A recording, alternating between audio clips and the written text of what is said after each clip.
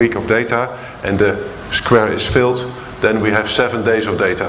And if it's not completely filled, then they skip one or two days.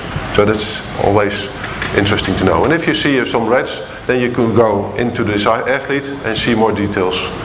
And the details are organized by day, so you have a vertical and timeline uh, view of all the information you need. And uh, you can draw your own conclusions, but because this is an assistant, it's not the completely truth. Sometimes you know more as a coach and as an athlete, and you can figure out why fitness levels are dropping or climbing in relation to sleep, for instance. And sleep is quality of sleep, but also duration of sleep. And the green pattern shows also the stability of sleep. If you go to sleep every day at the same moment, your recovery is a lot better than when it's switched up and down for a couple of hours. So if you go to bed one day on 10 o'clock and the other way at 12 o'clock, then your recovery is worse than uh, when it's on the same time, although you might be having the same time of sleep. So that's something you can see easily here. And if you go down, if we go down, yep, you can also see indicators of um, HRV on the, on the bottom and on the top you can also see indicators of training load and training um, monotony. All right. Um, I'm not doing this alone. There's a whole team. Uh, Eric is uh, my colleague, second one, and he is doing triathlon, swimming, and uh, cycling. Arnold is our physician, sports physician, physiotherapist. Jacques is doing marketing. Bas is doing head, uh, he's head uh, software de development, and he uh, Ed, Ed, yeah, it's a short name in Dutch, but still, it's Ed. Um, Ad, he's system engineer, and our intern Sylvester is working on privacy and all the uh, legal stuff that's needed to get this system uh, waterproof, so to speak. All right. So, that's the main thing I want to tell you. If you're interested, leave a note on the website or just talk to me when you're around. I'll be around until, until Sunday. I'm glad to talk to you if, if necessary. Thank you very much.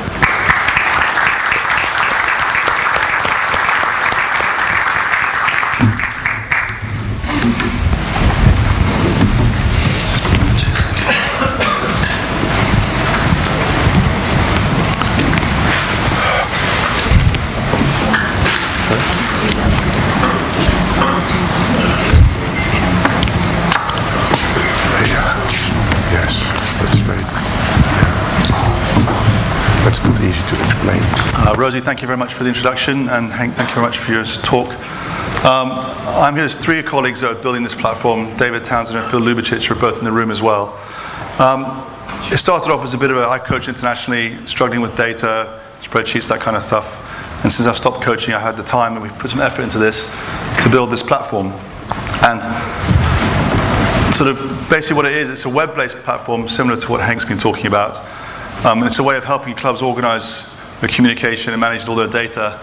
Um, and like Henk was saying, it doesn't solve, give you any answers, but it gives you better insight into what you're doing, and that should help you improve your decision making. So we come from a bit of the premise that the biggest struggle people have at any level is time. You know, people are at a limit to how much training they can do. The international athletes, how much more can they do in terms of training? Club athletes, there's more pressures at home, have to work longer hours. They want to train, they need to train more to perform. They struggle to fit it all in. School kids, more academic pressures, also need to train more. So this whole thing about how much more can everybody do, and when are we going to reach the limit? So if I just press something I shouldn't have pressed. There we go. So the question has to be, we can't just keep doing more, we need to do it better. So the thing is to decide what is important to measure and measure it, and then remeasure it and remeasure it and see how things are changing. The thing for me that's interesting now with all these different data sources that are coming in, what's important to measure is about to change. What we thought was because we could measure before and we could manage the data, we would stick to what we know. But now all these data sources are coming in, it's going to ask different questions. And what was interesting, I think, listening to Michael speak earlier, was that looking at the numbers, is I think there's a move towards coaching skill instead of coaching technique. So people have in this mind's eye what a, a good technical model is, but what's that underpinned by? It's usually underpinned by who coached you before, or books you may have read from the Fairbairn days, or whatever. But now, if you've got data to say, actually, this is how you should row, this is what the biomechanics are saying, and now we're in a position to measure and see that. So, so what is important, I guess, and it's going to be different for everybody, but fundamentally, we want the boat to go quicker. So there's a skill aspect to that, which I talked about. So that underpin, you know, how well are you rowing? How well are you rowing in time with everybody else? What's your stroke length? What's your slip? All that kind of stuff. There's physiology, your flexibility, your strength, your endurance. You know, how good is your core? Those are all aspects of physiology. And then there's the around behavior. So psychology, toughness, um, interpersonal skills with crewmates, all those sorts of things. And to some degree, there are components of each of these aspects which are measurable. And we need to measure those and decide what the right behavior or the right skill or the right fitness is, and then work towards that. So not everything that's important is measurable, obviously, but there's a lot of stuff, and more and more stuff is going to become measurable. And what this causes is it causes a nightmare for coaches. Because coaches are busy enough dealing with what they've got in front of them anyway. So, what do we perceive the modern challenges for coaches are?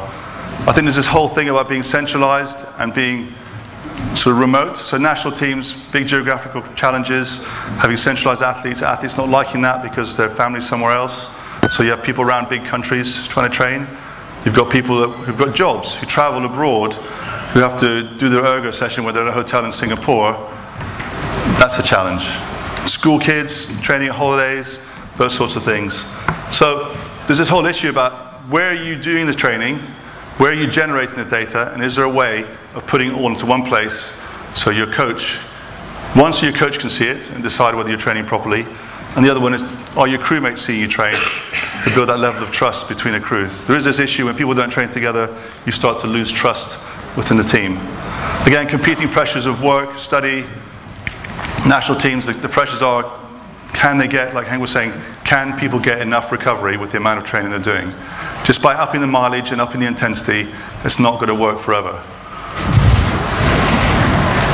Then, again, we talked about these many new sources of data, and this is, brings the next point, which is we're going to be changing away from traditional ways of operating. And in our experience, speaking to people who are using our system, there's a big cultural issue within organizations, so national teams or clubs or schools. There's people are used to having their spreadsheets and doing what they do and playing with their data and recording it all. But actually, the athletes don't get much insight into what's going on. They have no access to the data, so they can't make good decisions. You can't educate them properly. but also, you have to make a decision that actually by doing this, you are now relinquishing a little bit of control to the athletes because they get more information. They're probably going to start asking more difficult questions that you may or may not have answers to. But it's only ever going to be in the benefit of the athlete. So, what do we see the new possibilities going forward? So, at the moment, we did a project with the University of London, it's a club that we've been involved in through our rowing career, and they've been using our platform. And we analysed their data from that they used last year. So they had an eight that made the final at the Temple Cup in Henley, eight guys. And I said to the coach, so what was the difference in training? What was the training program? And he gave, he gave me this training program. And I was like, let's go into your systems. We looked in through rowers and went through it, and basically there was 50 hours difference in training between two different guys in the same crew. Now, this wasn't the actual training, this was a difference in what he had prescribed those eight athletes. So he thought he'd given a club program, but actually, guys get injured, ill, they miss sessions. You know, they, some guys cycling more to college, so they give them a few less sessions. Actually, the prescribed training was 50 hours different. That was about 8% difference in prescription of training. He still had no idea what the difference in actual training was because he wasn't recording the heart rate, wasn't recording their distance trainings, all that kind of stuff. So I think we're in a position now, because of these wearable devices, heart rate monitors, GPS devices, we can start to measure how far are people actually rowing. So you ride a 16k session, we're seeing really, really often, some people are doing 14 and a half, some are doing 17. Now, if you do this over a whole season, you can have a massive discrepancy in what training people actually did. Then within that, how fast did they do it? What was their heart rate in it? What's of level of intensity? Do you have one guy that just pulls hard all the time? Do you have one guy that never gets any work on? one guy works fine on the ergo but overworks in the water? All this sort of stuff, you have no idea. So we're so keen as coaches to prescribe a split or a wattage on the ergo for your 16 or 20k ergo, and then you go on the water and go rate 18. That's just not useful enough. So, so this, is a, this is a picture from our website. These are different athletes, and it's the different amount of time they're each spending in their prescribed training zones. So they're given specific training zones based on some physiological tests, and you can see this athlete here has worked much harder than these athlete here, but you can see it all in one place. And that's kind of an insight. Now, you know they turn up, and you know they've done the volume, but how well are they doing it? And this is where we can start becoming more intelligent about what we're doing. Um, and as a consequence of that, different levels of fatigue, you start to see, like Henk was saying, you start to record people's recoveries, and you start to see which sorts of training work best for some people. You know, there's a paper that's just come out with the Kiwi pair, how off the water they both did different training programs because they needed different things. So there's personalization and optimization of training, and some of that's based on how well they're recovering from sessions. And all these, you know, I think next year there's going to be something like seven different telemetry devices available in the market. And that's going to be generating a ridiculous amount of information that people need to find a way of managing. But also, this, all this stuff, and people like Valeria and Connie who are going around the world working with teams and universities to make people understand what the data really means. And this is where I think we're going to be moving towards more of a skill-based coaching. You're coaching people to do the right movements to make sure they don't put the, feet, the pressure on the stretcher too early going forward. You know, what's the difference between the stretcher force and the oar force? These things are things we don't talk about, but I think we're going to get more away from that, more towards that, and less about what's your hand doing, what's your posture, all this sort of stuff. Um, so again, it comes down to good record keeping. And all good coaches throughout history have been good at record keeping. You know, in the 70s, people would take photographs and go into town get it developed, come back next week and show them the picture of the outing they've forgotten about. or they'll write down good notes about the pieces they've done, comments about the session, but then the coach takes that home and the athlete hasn't got any of that. So, Hang, everything's going to move online in some way, which makes you as a coach feel like you're losing control a little bit. And I, I think that's just something we're going to have to get used to. Um, this whole thing about it's going to have to be more athlete focused, and we're going to have to engage the athletes and use the data in a way that helps them, which in effect helps us produce better crews. So, lots of data is going to come in. Before you go around and collect millions and millions of gigabytes of data, decide what it is that's important for you and measure that, and then measure it again, and measure it again, and keep improving. Okay, that's me. Thank you very much.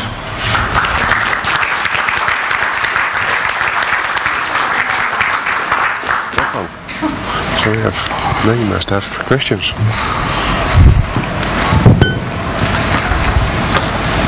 Thank you. Um, so, uh, have we any questions? And um, while you're thinking about your questions, I have one. So, um, could both of you, both of you have got live documents or live uh, systems. Could you give us an example of where you've seen collecting the data and managing the data has made a huge difference either to a coach or to an individual?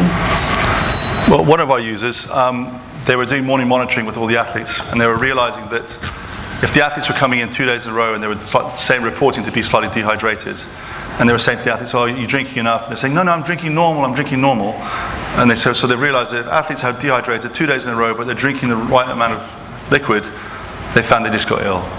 So that for them, that was a big alarm. If they followed the morning monitoring, saw that their heart rate, saw their hydration was low, but they were talking to the athletes again, just checking, are you drinking?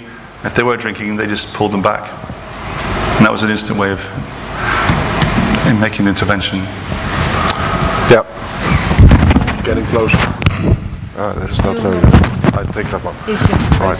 Well, we, we, started this project a long time ago, and in 2007 we created a freshman's crew in, in Amsterdam, and um, I made the training programs using this data to uh, have individual programs. And uh, the, the, the, crew was very fast. Uh, that can happen in freshman's crews. That's coincidence sometimes, but we have a big group to select from. But the main thing is that there was no injury all season and that they didn't lose any, any race. And that's because, of course, they, they learned technique, but they also had their individual program that they can be uh, loaded as, as, as high as possible individually. And because fresh freshman rowing means that there's a lot of differences in between people, uh, a lot bigger than if you have an Olympic age, uh, uh, because that's the, the, those uh, training years. Well, when I was in the training in the eight, it was an average training age of about 15 years. That's different than if you start rowing. So those differences you have to use to load everyone to its maximum and have the maximum average um, speed improvement. And that's, that's done by, by data collection and using them right. Okay, question.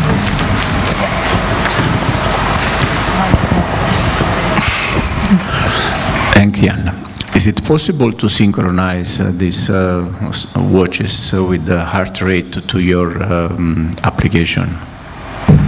How do you mean synchronize? To, to record, to record. Not, you don't need to wake up in the morning, three minutes before, and take manually. Hmm. But no, no, no. It's, it's done by a heart rate belt. Is yes. that by the heart rate automatically? Yeah. Okay, thank you. And also the, the record of the training can be uploaded any way you want. And, and, any any one of the um, watches on the market are good. You, you can have well, there are some special because the HRV measurement needs a very very uh, accurate measurement. So there are only three or four heart rate belts that are useful, and that's that's Polar, Suunto, Garmin, not all of them, and there's some uh, Canadian brand. It's uh, FIFA. It's very well. Okay. Very well. Thank you.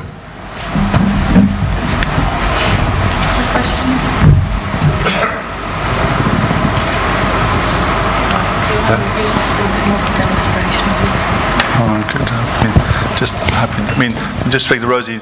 Uh, whether we'd like to do a bit of a demonstration, I think it would be quite dull for me to give it to you. I think if anybody's interested, I'm very happy the three of us to go through a demo and, and actually, because it does so many different things, talk about your problem and see if it does help you in any way. But we're happy to all weekend just to do any demos that anybody wants. Just come and find us. Okay, thank you. So I think what, what oh, sorry, question. Yeah. Sorry, Milan. uh, obviously there is a two group of the data you, you're collecting. Is the one in the recovery. Another one is uh, like a heart rate during the training session or workouts. And um, do you have any idea of the numbers of the data you can collect or what is the preferable uh, values you want to put on your, your platform? Um, any data is useful. That means heart rate is only heart rate, but if you combine it with power or uh, technical uh, results, we can make analysis about uh, physiological, physiological efficiency. So if you have a higher power output with a lower heart rate, that says something about development over time.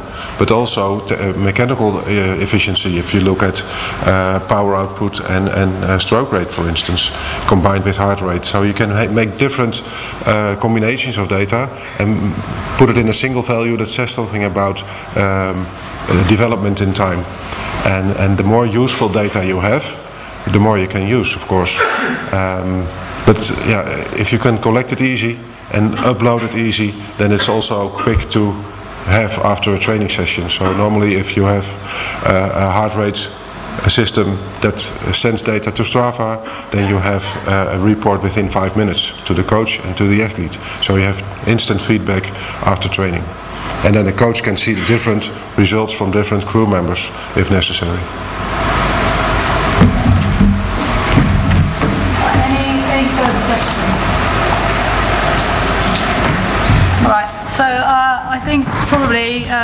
As they said, that best if you go and talk to them about what issues you, you know, have you got a big squad, have you got one athlete, are you the coach, are you the athlete, um, are you managing uh, a remote group or are they all in the same place? Uh, what sort of data do you want to load onto the system? Uh, so I, I think all of, all of those things are possible, but you probably need to go and talk to them about a bit more about your specific situation. So I'd like to thank both our speakers and um,